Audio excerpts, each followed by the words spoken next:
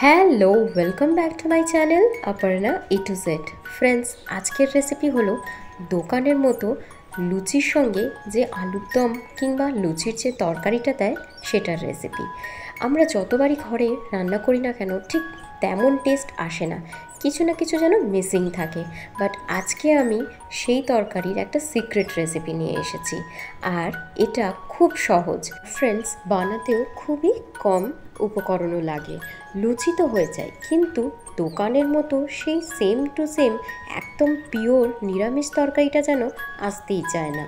আজ আমি দেখো একদম পুরো সাজিয়েছি যেমন আমরা দোকানে খাই সেই রকম করে।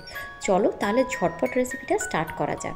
প্রথমে এটা পাঁচ ফোড়ন নিয়েছি দুই চামচ। এই পাঁচ ফোড়নটাকে আমি প্রথমে শুকনো খোলায় ভালো মতো ভেজে নেব। ফ্রেন্ডস এটা হলো একটা সিক্রেট এই রেসিপিটার যেটা এর মধ্যে ওই সেম টেস্ট এনে দেবে। দেখো, এখন ভাজা হয়ে গেছে, আমি এটা নামিয়ে রেখেছি, এবার এটা গুঁড়ো করে নিয়েছি। কিন্তু পুরো গুঁড়ো হবে না, একটু হাফ ডাস্ট হবে, ঠিক এই রকম। এইবারে দেখো, এটা আলু সেদ্ধ আমি ব্যবহার করেছি এখানে এখানে চারটে আলু সেদ্ধ আমি নিয়েছি। এটা ডুমু করে কেটে নিয়েছি, এবার ওই ভাজা মশলাটা আর শুকনো লঙ্কা, তেজপাতা।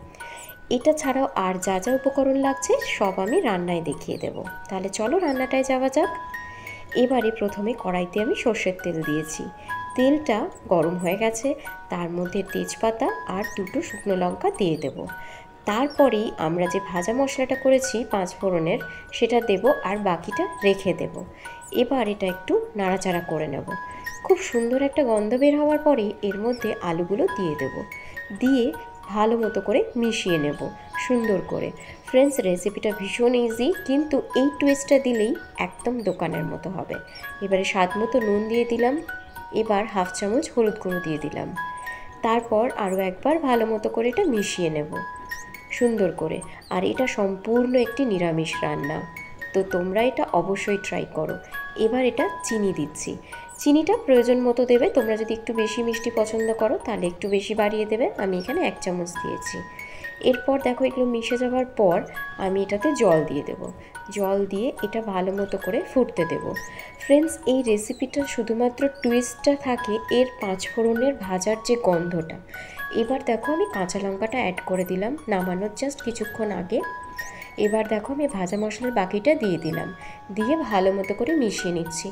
এবারে আলুর এই তরকারিটা আরেকটু যখন ঘন হয়ে যাবে, তখনই আমরা নামিয়ে নেব। ব্যাস রেডি দোকানের মতো একদম টেস্টি টেস্টি আলুর সেই তরকারির স্বাদ পাবে বাড়িতেই।